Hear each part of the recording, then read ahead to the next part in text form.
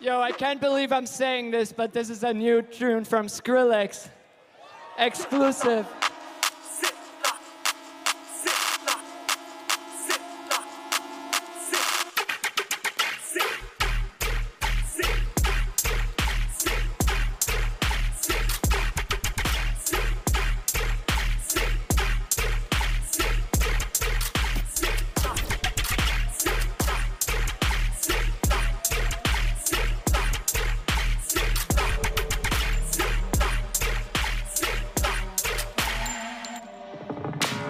Bye.